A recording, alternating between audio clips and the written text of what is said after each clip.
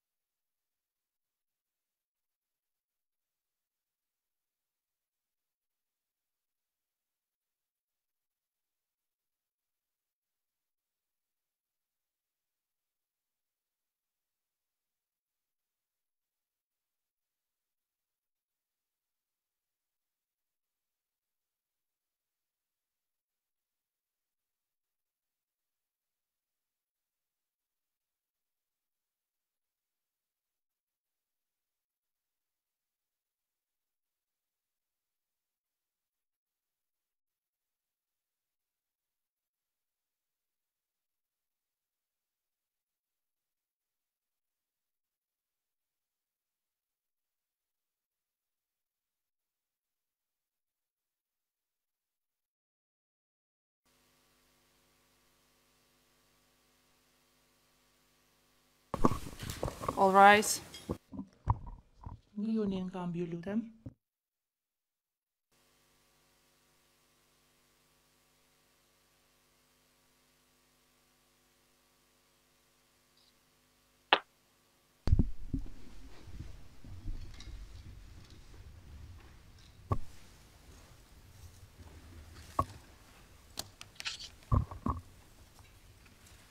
Good morning, everyone.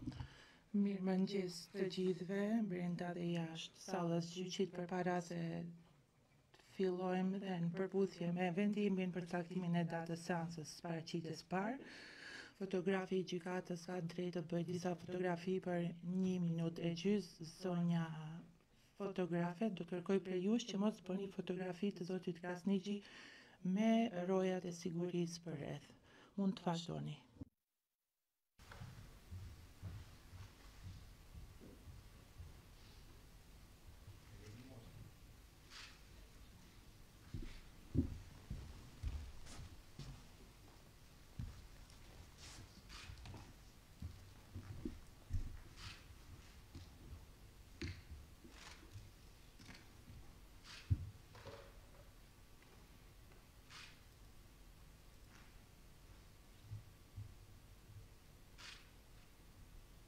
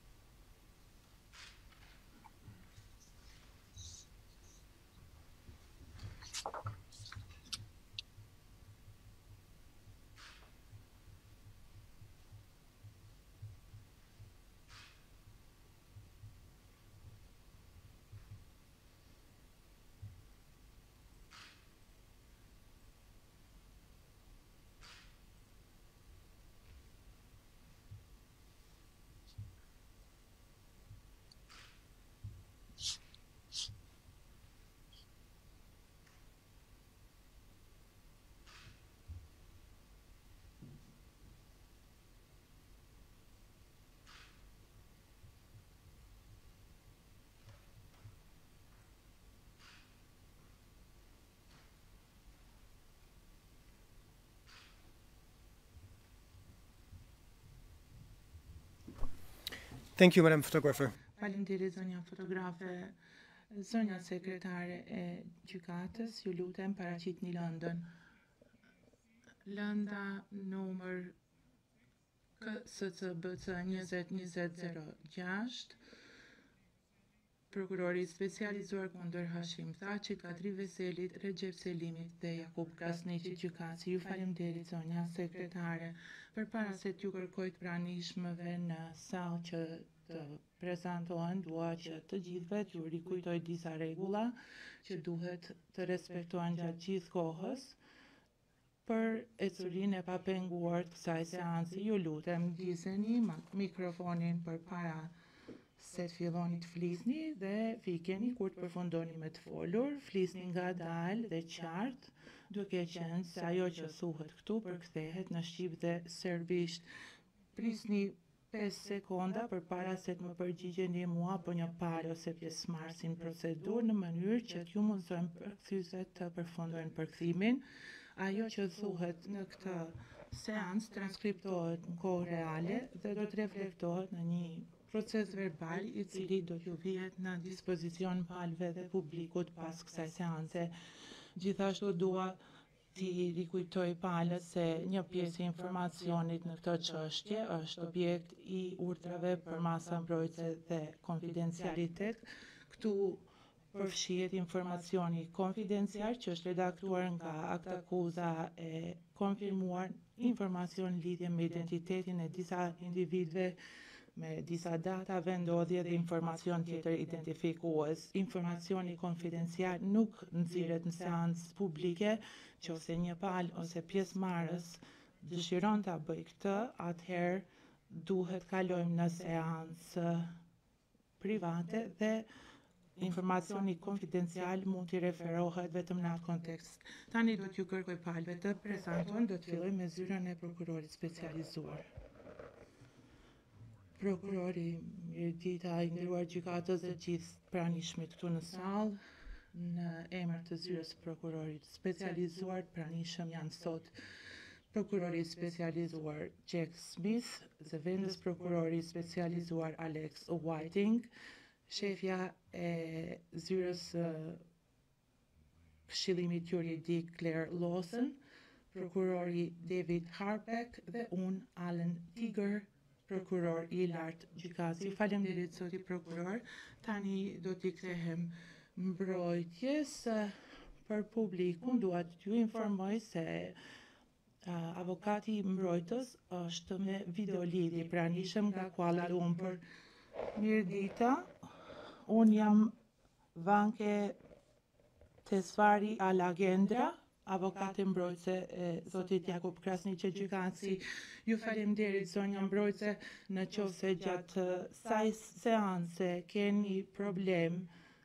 teknik atëherë ju lutem të bëni një shenjë me dorë në mënyrë që të rregullojmë problemin dhe pastaj unë do ta ndërprej seancën në mënyrë që të sigurojmë se ju do të jeni në gjendje të ndiqni procedurën gjatë gjithë kohës. Mbrojtja. Faleminderit. Gjykatësi. Për hir të procesverbalit, theksoj se i pranishëm në sallë është edhe zoti Krasniqi. Tani ia jap fjalën administratores. Administratorja. Mirëmëngjes i nderuar gjykatës Fidelma Donlon, administratore. Gjykatësi. Faleminderit dhe për procesverbalin unë jam Nicolas Guillou, gjykatës i procedurës paraprake në këtë çështje. I akuzuari paraqitet sot për herë të parë para Dhomave të Specializuara pas konfirmimit të aktakuzës kundër tij. Zoti Krasniqi, ngrihuni në këmbë, ju lutem.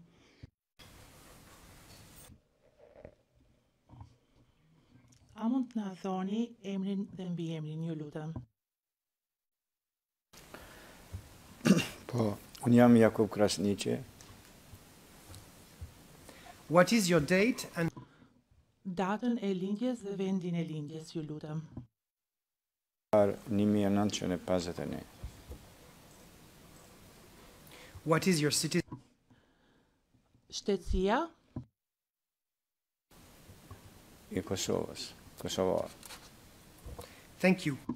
Ju faleminderit, tani mund të uleni, zoti Krasniqi.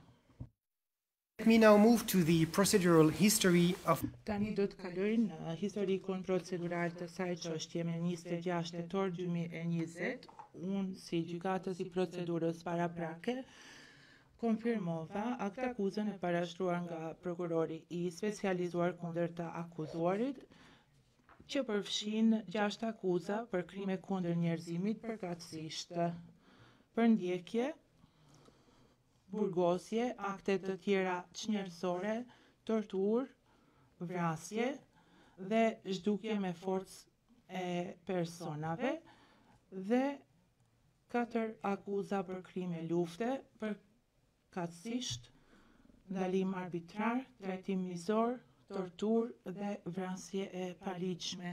I akuzuari u arrestua në Kosovë me katër nëntor dy mijë e njëzet. Ai u transferua në objektin e paraburgimit të Dhomave të Specializuara të Kosovës në Hagë po atë ditë. Zoti Krasniqi, përpara se të vazhdojmë, dua që të sigurohem se mund t'i ndiqni këto procedura në një gjuhë që e kuptoni dhe flisni. A mund t'ju lutem të më konfirmoni që e flisni dhe kuptoni gjuhën shqipe?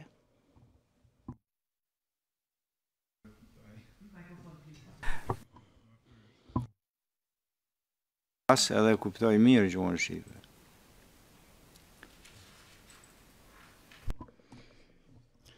Ju falemnderit zoti Krasniqi me këtë konfirmim jam i bindur se mund t'i ndiqni procedurat në shqip një gjuhë, pra që kuptoni dhe e flisni në përputhje me rregullën 92 të rregullores së procedurës dhe të provave në qoftë se gjatë kësaj seance në Çfarëdo momenti nuk e ndëgjoni përkthimin, atëherë ju lutem të ma bëni këtë me dije menjëherë. Tani, më lejoni që ta spjegoj uh, qëllimin specifik të seancës së paraqitjes së parë për nevojat e publikut, të akuzuarit dhe atyre që na ndjekin nga galeria publike dhe online. Seanca e sotme nuk është gjykim.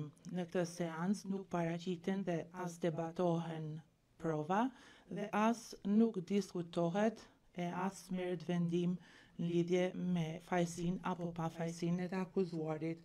Qëllimi i kësaj seance rregullohet me nenin tridhjetë e nëntë të ligjit dhe rregullën nëntëdhjetë e dy të rregullores, sipas këtyre dispozitave si gjykatës i procedurës paraprake e kam për detyrë t'ia lexoj të akuzuarit akuzat e përfshira në aktakuzë në një gjuhë që ai e flet dhe e kupton, të konfirmoj se i akuzuari e kupton aktakuzën, të bindem se i janë respektuar të drejtat e të akuzuarit, sidomos e drejta e tij për të pasur një mbrojtës, ta informoj të akuzuarin se brenda 30 ditësh nga seanca e sotme ai do të ftohet që të vetëdeklarohet lidhur me secilën pikë për fajësi ose pafajësi në lidhje Pra me secilën pikë të aktakuzës, nëse dëshiron këtë, i akuzuari mund ta bëjë edhe menjëherë. Dhe në fund do t'i caktoj të gjitha datat e tjera sipas rastit në kryerjen e detyrave të mia si gjykatës i procedurës paraprake. Kërkoj prej palëve që t'u përmbahen këtyre pikave, të cilat do t'i trajtojmë një nga një, Në qoftë se ndonjëra prej palëve ka për të ngritur ndonjë çështje që nuk është paraparë brenda kuadrit të kësaj seance, atëherë këtë mund ta bëjë me shkrim duke nxjerrë parashtrime me shkrim para meje. Zoti Krasniqi, a mund t'ju lutem të më konfirmoni se e keni marrë apo ju është dhënë Aktakuza e konfirmuar e datës katër nëntor dy mijë e njëzet në gjuhën që e flisni dhe e kuptoni.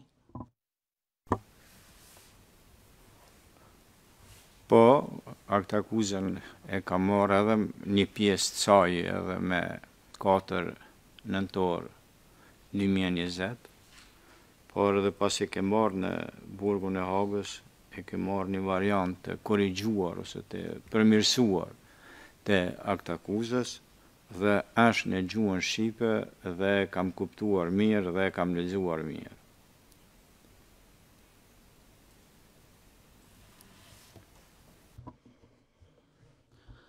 Ju faleminderit zoti Krasniqi. Tani do të kërkoj koj nga sekretarja që t'i lexojë akuzat e parashtruara në aktakuzën e konfirmuar, sikurse kërkohet me rregullën 92 të rregullores dhe nenin 39 të ligjit, urdhëroni sekretarja.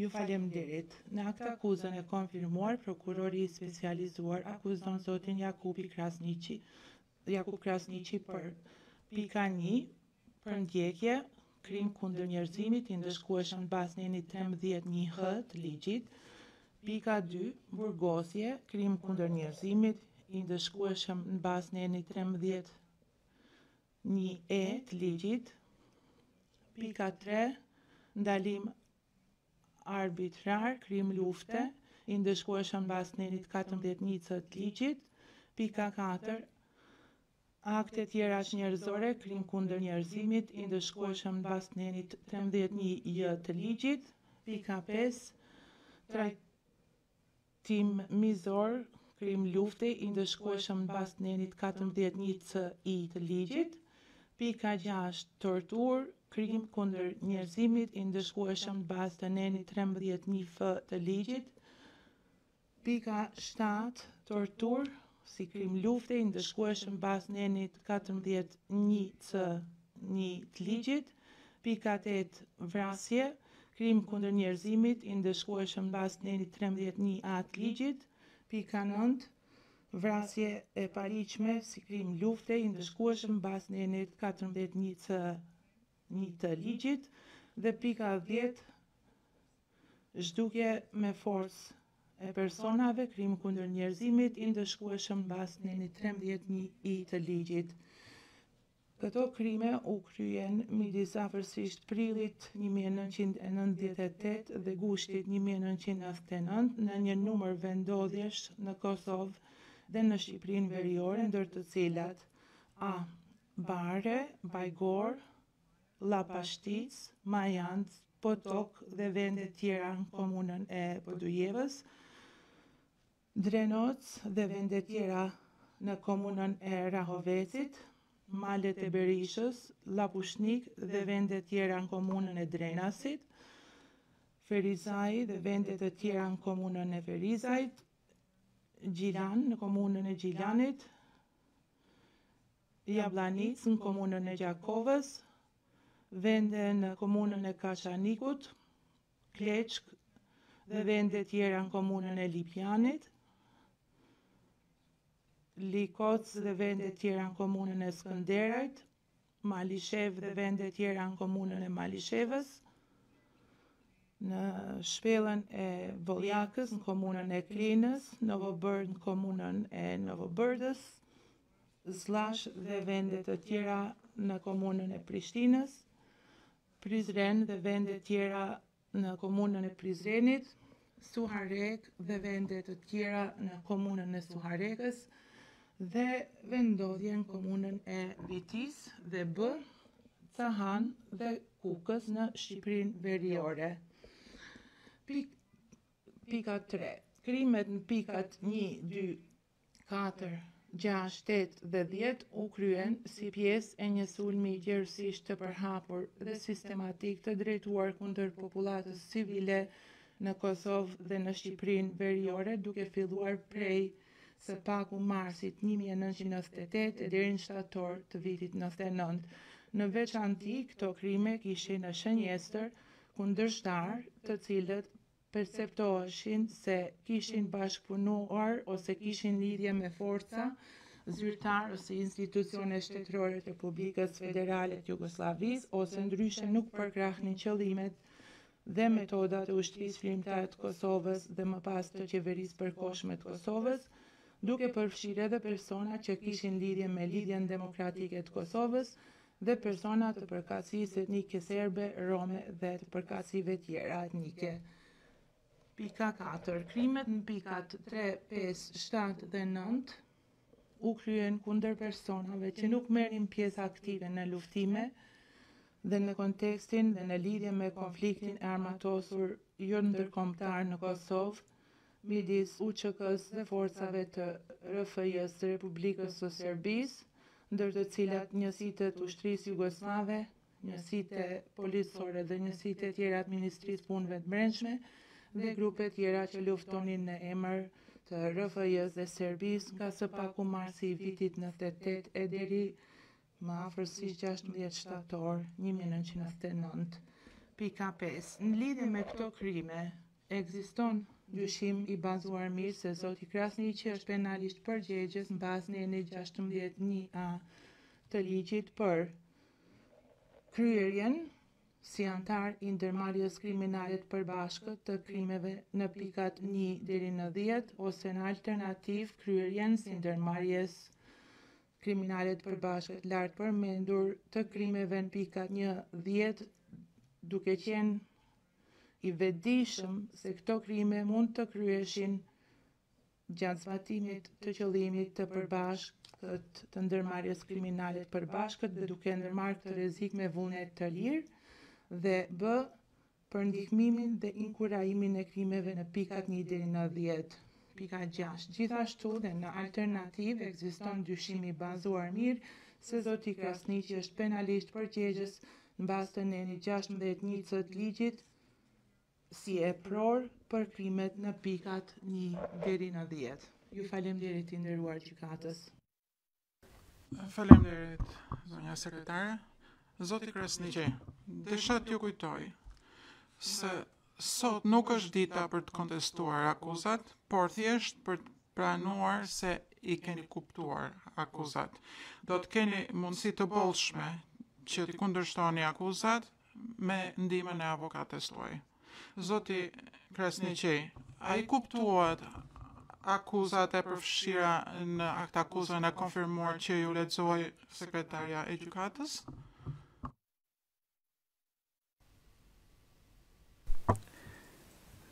Unë duhet të them dy tre çështje dhe do të përpiqem që të them goxha shkurt.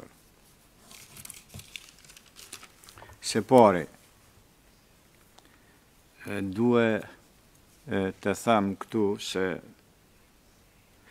unë jam arrestuar më 4 nëntor 2020. Në aktakuzë po na quani ndërmarrje kriminale të përbashkët. Unë dua të deklaroj sot se kurrë në jetën time, në asnjë rast të vetëm, nuk i kam trajtuar njerëzit askaq sa e si më trajtuat mua nga ndërtesa e burgut deri në këtë ndërtesë. E theksoj, kurrë në jetën time s'kam trajtuar njerëz në këtë mënyrë, se s'ka qenë qëllimi im trajtimi i njerëzve, por lufta kundër okupatorit që ka bo krime të gjenocidit në Kosovë. Prandaj, e ndjej, e ndjej veten më shumë se mirë. Dhe kurrë nuk do dëshiroja të jam në petkun e njerëzve që kanë shpirt krimineli unë jam intelektual jam njeri që politikisht e kam luftuar Serbinë kurrë në asnjë deklaratë time nuk e kam orientuar gishtin nga popullsia civile as serbe as ndonjë tjetër Mandej në aktakuzë përpiqeni t'i ndani shqiptarët në katolikë dhe myslimanë. Unë jam shqiptar, s'jam as katolik as mysliman. Edhe kjo për mua është fyese, edhe për mua, edhe për vendin tim. Me lejoni tash t'i tham disa qështje për aktakuzën. se cilësimi i prokurorit të Dhomave të Specializuara se ne qenkemi ndërmarrje kriminale e përbashkët për mua, shokët e mi, familjen time, që luftuam gjatë, por dhe për kombin tonë nuk ka diçka më fyese pasi ne një kohë të gjatë Në rrethona tepër të vështira, jetë a vdekje u vumë në shërbim të lirisë e të shtetndërtimit, të cilat i arritëm në bashkëveprim me Shtetet e Bashkuara të Amerikës, me vendet e Bashkimit Evropian, me NATO-n, me OKB-në dhe të gjithë së bashku, ishim dhe jemi ndërmarrje e përbashkët çlirimtare dhe shtetformuese. Ndërsa, ndërmarrje e përbashkët kriminale janë jo vetëm serb në Serbi, ishte dhe është këmbë e krye vetëm koka e saj në Beograd dhe te mbështetësit e politikave të Beogradit.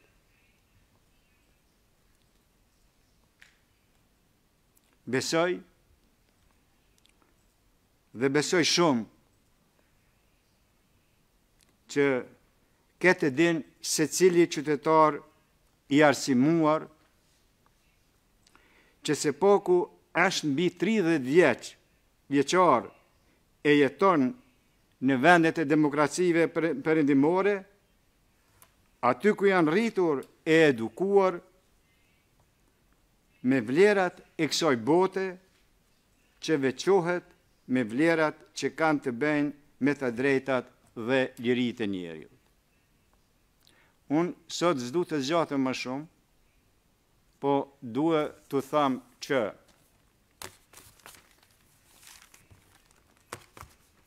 unë kam qenë i dënuar nga regjimet kriminale të Jugosllavisë. në vitin një mijë e nëntëqind e tetëdhjetë e një dhe tetëdhjetë e dy. Dhe ata më kanë pas dënuar pse kam lexuar libra, pse kam fol dhe pse e kam kundërshtuar atë regjim. Po besoni, më shumë të drejtë kanë pas ata atje sesa sot që gjindem këtu.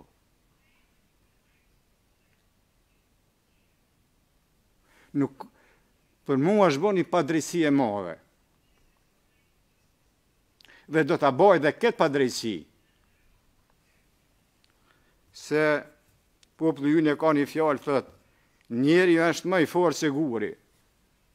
Dhe atë që s'e ban guri e ban njeriu.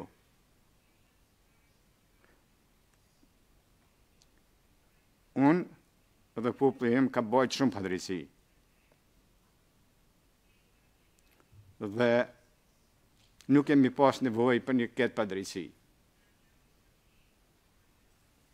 Natyrisht, në seancat e tjera, unë do të tham edhe, edhe ma shumë. Veç, s'do ta ndisha veten mirë, të isha në shërbim të politikave të krimit dhe gjenocidit të Serbisë, për të cilat edhe prokurori serb Vukçeviçi këto ditë tha pasi është ngrita këto akuza që ka qenë prokuror nga viti dy mijë e tre, unë mendoj që adresa e qartë, e qartë, e krejt kësaj maskarade asht në Beograd dhe te mështetësit e politikave të saj kudo qofshin ato.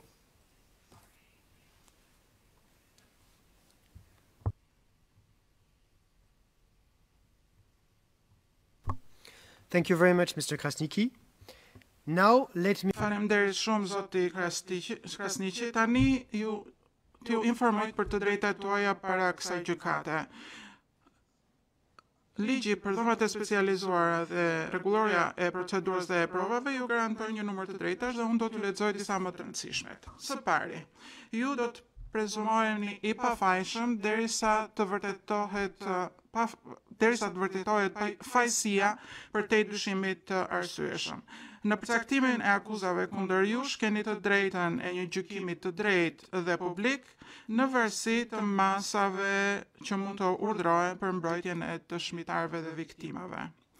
Ju keni të drejtën të informoheni pa vonesë dhe në hollësi në një gjuhë që e kuptoni për natyrën dhe arsyet e akuzave që janë ngritur kundër jush. Keni të drejtën që të keni kohë dhe mjete të mjaftueshme për përgatitjen e mbrojtjes tuaj dhe të komunikoni me avokatin që e keni zgjedhur vetë. Keni të drejtën që të gjykoheni brenda një kohe të arsyeshme. Keni të drejtën të gjykoheni në praninë tuaj dhe të mbroheni përmes avokatit tuaj. Keni të drejtën t'ju caktohet mbrojtës, avokat, dhe pa pagesë në qoftë se nuk keni mjete të mjaftueshme për të paguar për të. Keni të drejtë t'i bëni pyetje ose që dikush t'i bëjë pyetje në emrin tuaj dëshmitarëve kundër jush dhe të kërkoni paraqitjen dhe marrjen në pyetje të dëshmitarëve në emrin tuaj. Keni të drejtën e ndihmës pa pagesë të një përkthyesi në qoftë se nuk e kuptoni gjuhën që flitet në gjykatë. Keni të drejtën që të mos detyroheni të dëshmoni kundër vetes ose të pranoni fajësinë. Keni të drejtën të qëndroni i heshtur dhe nuk do të nxirret asnjë përfundim negativ nga heshtja juaj. Po kështu, keni të drejtën të bëni deklarata pa betim në lidhje me çështjen tuaj dhe ju mund të paraqiteni si dëshmitar nën betim. Keni të drejtën të bëni mocione paraprake për të kundërshtuar juridiksionin e dhomave të specializuara, të pretendoni të meta apo defekte në formën e aktakuzës dhe të kërkoni veçimin e akuzave në aktakuzë. Keni të drejtën që brenda 30 ditësh nga dita e sotme të merrni materialet mbështetëse të aktakuzës që janë dorëzuar, që është dorëzuar për konfirmim.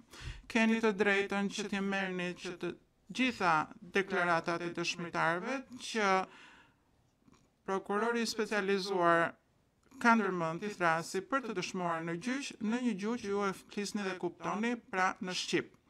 Keni të drejtën të merrni menjëherë çfarëdo informacioni që mund të sugjerojë në mënyrë të arsyeshme pafajësinë tuaj ose të lehtësojë fajësinë ose që të ndikojë në besueshmërinë e dëshmive e provave të dhomave të Prokurorit të Specializuar sa më shpejt që ky informacion të jetë në ruajtje, kontroll apo dijenin e tij. Keni të drejtë që Të gjitha materialet dhe provat ose faktet që ka Prokurori i Specializuar t'ju vihen në dispozicion para, gjatë dhe para fillimit dhe gjatë procesit të procedurës. Dhe kjo është e drejtë që është objekt i kufizimeve që janë rreptësisht të domosdoshme Kur zbatohen masa mbrojtëse kundërbalancuese, keni të drejtë që të mos mbaheni në paraburgim për një periudhë të paarsyeshme para hapjes së çështjes, të kërkoni rishikimin e vendimit të paraburgimit dhe t'i apeloni këto vendime në Gjykatën e Apelit. Keni të drejtën që të apeloni drejtpërdrejt në Gjykatën e Apelit apo të bëni mocione paraprake që kundërshtojnë juridiksionin e dhomave të specializuara. Keni të drejtën të kërkoni të bëni të kërkoni leje për apel kundër të gjitha vendimeve. Zoti Krasniqi, ju i dëgjuat të gjitha të drejtat më të rëndësishme që gëzoni në kuadrin ligjor të dhomave të specializuara. A i kuptoni këto të drejta?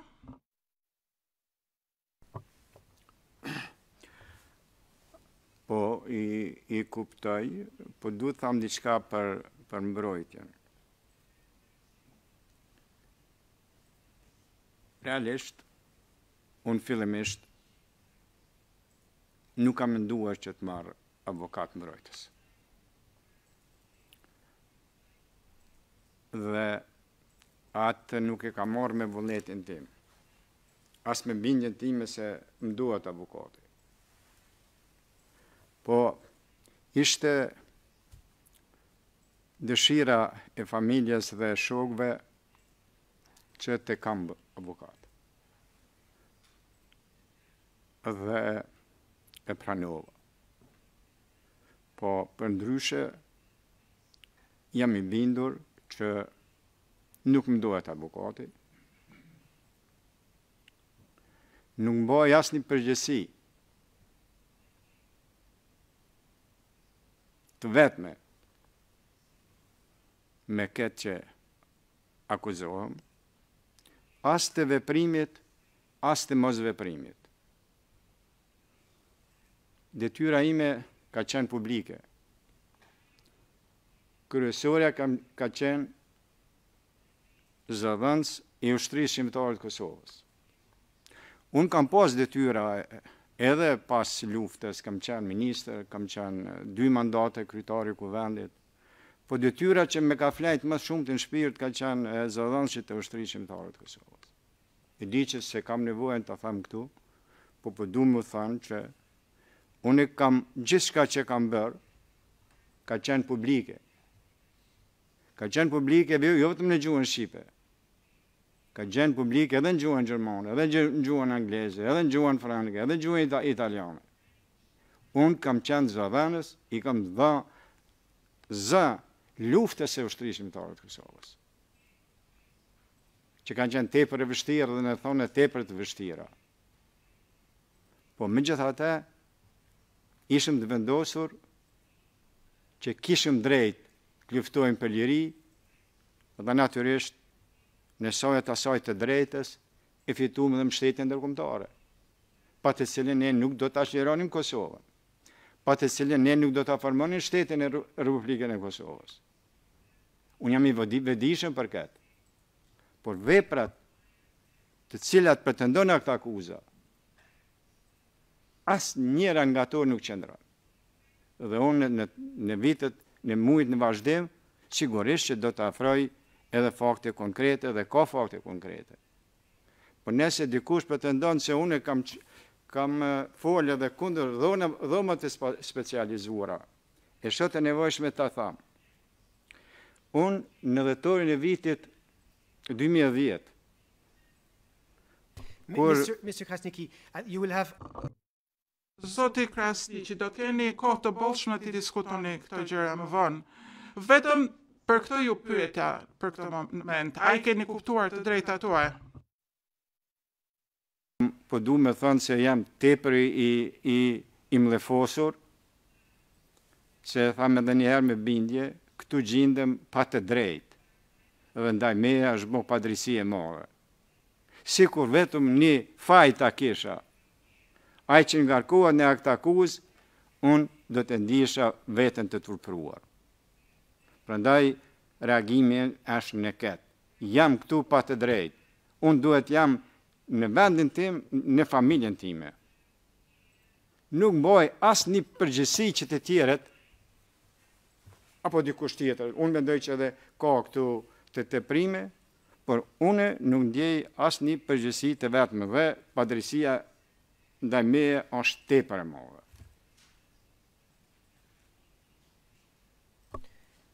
Thank you Mister Krasniqi. I will now follow up on what you Faleminderit zoti Krasniqi.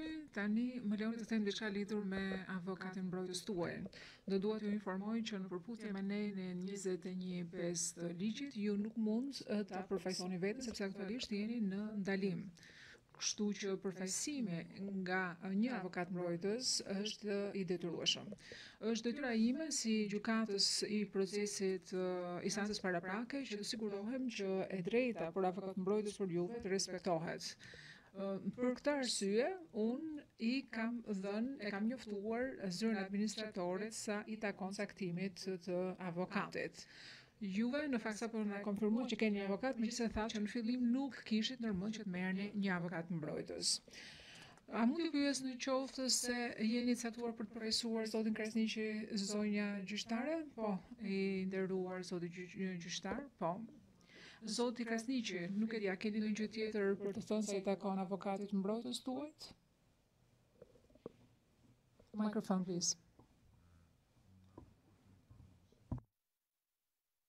Do i vë edhe në të ardhmen.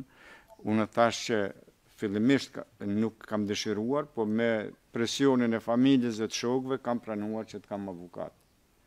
Megjithatë, në këtë rrafsh po, po i respektojmë procedurat e dhomave të specializuara.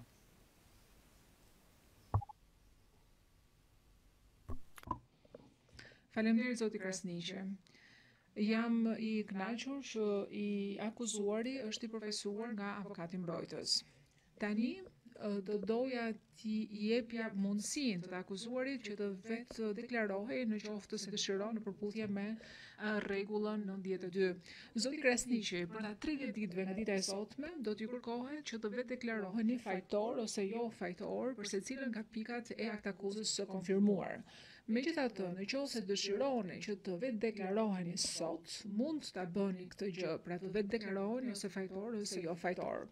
Si rezultat, do doja t'ju kërkoja zoti Krasniqi, dhe do doja t'ju pyesja në qoftë se keni pasur mundësi që të diskutoni akuzën në aktakuzën e konfirmuar me avokatin mbrojtës në qoftë se jeni i përgatitur që të vetëdeklaroheni në këtë moment. Në qoftë se është ky rasti, do ju kërkoja që të ngriheshit në këmbë dhe të vetëdeklaroheshit.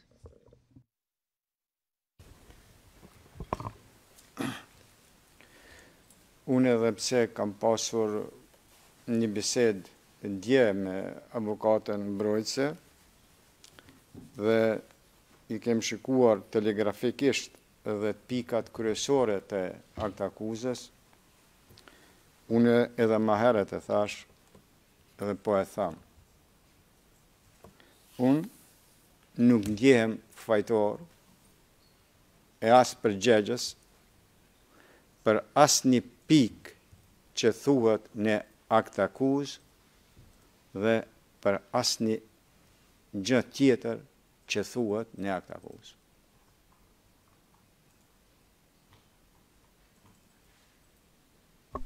Just to make it clear, Mr. Sa për ta sqaruar zoti Krasniqi sepse ë nuk e di në qoftë se janë fjalët tuaja, se në qoftë se është çështje përkthimi. Pra ju nuk ndiheni fajtor në qoftë se ju lutem na thoni në qoftë se vetëdeklaroheni jo fajtor apo dëshironi që të bëjmë një tjetër seancë formale pas 30 ditëve për t'u vetëdeklaruar fajtor ose jo. Domethënë ju thatë që nuk ndiheni fajtor.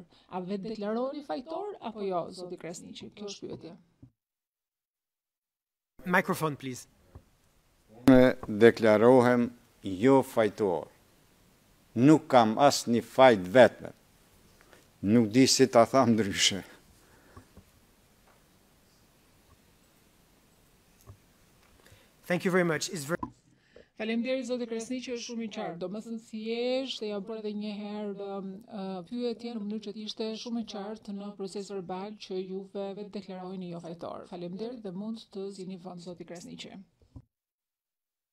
Now let me move to Tani le të kalojmë te gjuhët zyrtare të proceseve gjyqësore. Në programin për këtë seancë paraprake unë u kërkova palëve që të bënin parashtrimet e tyre në gjuhët zyrtare të cilat do të përdoren në çështjen në fjalë në përputhje me rregullin 8. Do dua së pari t'ia jap fjalën prokurorit të specializuar. Faleminderit. Nuk ka nevojë për depozitime të tjera më të elaboruara. Nuk shikojmë asnjë arsye për t'u larguar nga praktika që kemi krijuar deri tani dhe me fjalë të tjera, domethënë kjo përmbledh um, depozitimet tona për përdorimin e anglishtes si gjuhën e punës së këtij institucioni. Faleminderit, zoti prokuror. Uh, avokat Tja mbrojtëse, çfarë keni për të thënë ju lidhur me këtë pyetje? Jemi dakord, jemi dakord që anglishtja të jetë gjuha e punës e proceseve gjyqësore përpara dhomave të specializuara. Faleminderit shumë zonja Ambrose. Unë do të nxjerr një urdhër në kohën e duhur për këtë çështje. Siç është thënë edhe në urdhrin sa i takon kësaj paraqitje të parë, unë do të planifikoj konferencën e statusit në përputhje me rregullin 96 që do të mbahet menjëherë pas paraqitjes së parë. Qëllimi kryesor do të jetë që të rishikohet statusi apo gjendja e çështjes, të organizohen shkëmbime ndërmjet palëve si dhe të sigurohen përgatitje të shpejta për këtë proces. Zoti Krasniqi, dua t'ju kujtoj që keni të drejtë që të merrni pjesë në konferencat e statusit së bashku me mbrojtjen tuaj. Megjithatë, me pëlqimin me shkrim dhe pas marrjes së uh, këshillit, uh, këshillimeve nga avokatja juaj, uh, në përputhje me rregullën 96.2, konferenca e statusit mund të uh, merret, domethënë, në konferencën e statusit mund të merrni pjesë juve personalisht, së bashku me avokatin mbrojtës përmes lidhjes së videokonferencës ose mund të merret pjesë, mund të ndiqet për ju zoti Krasniqi, duke marrë pjesë përmes videokonferencës ose mund të, të marrë pjesë edhe në mungesën tuaj zoti Krasniqi, por me avokaten tuaj që do të marrë pjesë përmes lidhjes me videokonferencë. Do doja t'ju kërkoja palëve që të shprehen lidhur me një datë të përshtatshme për konferencën e statusit që do të mbahet ose më 18 nëntor ose pas kësaj date. Do doja të pyes në qoftë se avokatja mbrojtëse do të marrë pjesë uh, përmes videokonferencës apo në mënyrë të drejtpërdrejtë. Por së pari, më lejoni t'i jap fjalën prokurorit. Ëh, zoti i nderuar gjykatës, ne jemi të disponueshëm në atë datë dhe është një datë shumë e përshtatshme për ne. Avokatja mbrojtëse. A mund të na thoni në qoftë se kjo datë është e përshtatshme për juve dhe do të merrni pjesë uh, vetë personalisht apo përmes lidhjes videokonferencë? Uh, I nderuar gjykatës, uh, ne kërkojmë 30 ditë minimumi për uh, konferencën e statusit uh, dhe duhet që të udhëtoj nga Malajzia dhe plani është të jem fizikisht e pranishme në salën e gjyqit me përjashtim të rastit kur ndodh ndonjë gjë madhore, për të cilën nuk kam kontroll. Faleminderit zonja mbrojtëse. Ë kam frikë se nuk kemi mundësi që të presim kaq gjatë për shkak të detyrimeve të nxjerrjes nga prokurori. Ë në qoftë se Nuk e di nëse keni ndonjë datë që mund të funksionojë të ndryshme nga data që na dhatë më përpara, kjo është pyetja e parë, dhe pyetja e dytë është që unë e di që ju merrni pjesë përmes konferencës, videokonferencës dhe ka dallime, le të themi në orarin, në dy vendet, kështu që mund të më thoni se kur do të ishte ndoshta një moment më i përshtatshëm për juve për të planifikuar konferencën e statusit? Unë do të jem e disponueshme në momentin dhe në kohën që përcaktohet prej jush si momenti më i përshtatshëm, qoftë koha gjatë ditës apo data e konferencës së statusit. Faleminderit shumë zonja avokate, e vlerësojmë shumë dhe duke pasur parasysh diferencën në orar ndërmjet vendeve, do të mundohemi që të mos e caktojmë shumë vonë gjatë ditës. Um, pra, siç e dini, kemi skuadra të ndryshme mbrojtje dhe vërtet e vlerësojmë uh, fleksibilitetin tuaj mbi çështjen. Do të merrni një urdhër për agjendën dhe për planifikimin, do ju kërkoj gjithashtu edhe palëve për depozitimet me shkrim për konferencën e statusit. synoj që datën ta përcaktoj deri të premten me datë 13 nëntor dhe për mbrojtjen të martën me datë 17. Për çdo gjë do ta merrni me shkrim. Pas konferencës së statusit do të nxjerr një vendim për detyrimin për nxjerrjen e informacionit të zyrës të zyrës së prokurorisë së specializuar në përputhje me rregullin 102 dhe regjimin e censurimit të proceseve gjyqësore. Në këtë pikë do doja t'ju kërkoja palëve në qoftë se kanë një tjetër çështje që dëshirojnë të ngrenë dhe do të doja që T'ju kërkoja palëve që në qoftë se do të japin informacion konfidencial në ndërhyrjen e tyre të na bëjnë këtë me dije në mënyrë që të marrim masat e nevojshme. Zoti prokuror, fjala për juve. Nuk kemi asgjë nga ana e prokurorit, zoti gjyqtar. Faleminderit. Mbrojtja? Zonja, unë kërkoj që dokumentet kryesore ligjore të zyrës së prokurorit të specializuar të mund t'i vihen në dispozicion zotit Krasniqi në gjuhën e tij. Dhe kemi si synim që të bëjmë një depozitim për lirimin para parakohshëm me kusht sa më shpejt të jetë e mundur Zoti gjykatës, faleminderit shumë. Kjo u mor shënim. Zoti Krasniqi, dua t'ju pyes ju në qoftë se keni ndonjë çështje për të ngritur që ka të bëjë me arrestimin, transferimin ose ndalimin tuaj.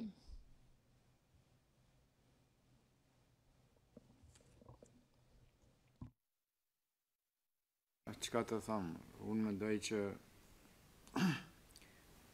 gjithë akuza që ka të bëjë me mua, por dhe mendoj që ndoshta janë procedurat e Dhomave të Specializuara, po këto procedura që janë ndjek nga mëngjesi i 4 nëntorit dhe deri këtu të sotshmet, konsideroj që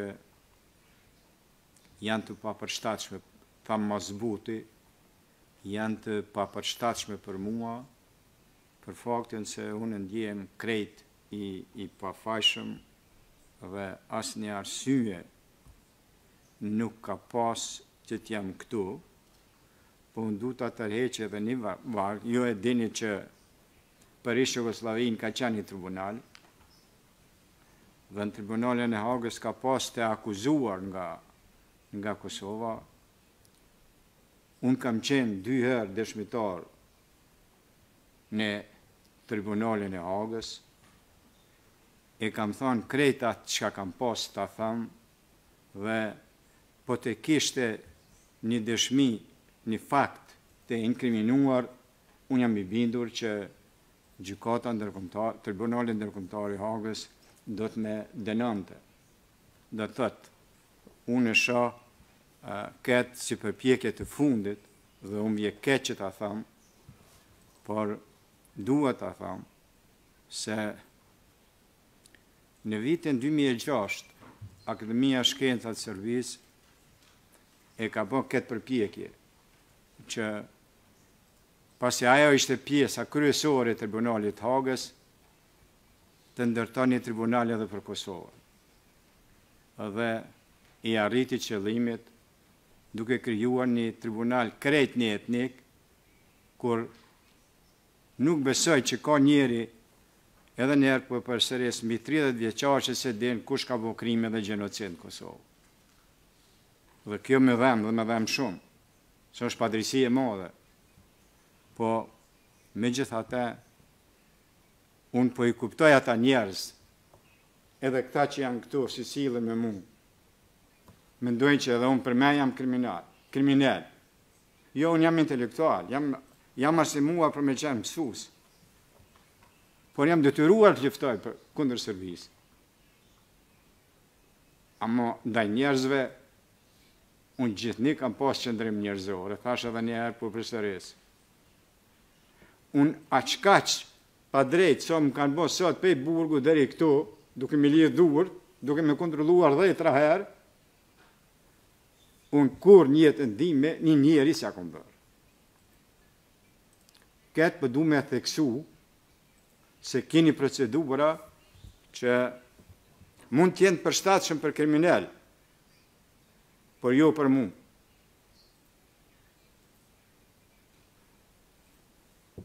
Prokurorët e prokuroria e dinë se ata kanë marrë, i kanë marrë edhe librat që i kam shkruar unë. Unë vërtet i kam shkruar 15 libra. Dhe ndjehem shumë mirë. Po ndjehem shumë keq për padrejtësinë, jo pak, po tepër të madhe. Edhe po e përfundoj. As kaq padrejtësi sa më kini bërë nga ora gjashtë e katër dhjetorit e deri me tani s'e kam merituar. Edhe s'ka kush që as këtë padrejtësi mundet me e arsyetuar.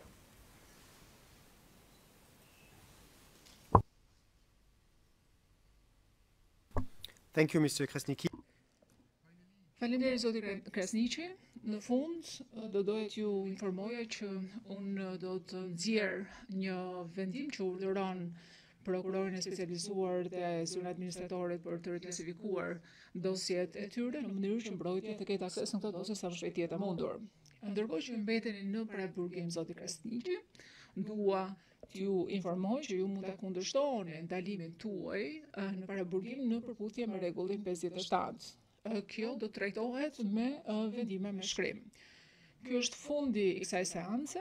Do dua të falënderoj palët dhe administratoren për pjesëmarrjen e tyre.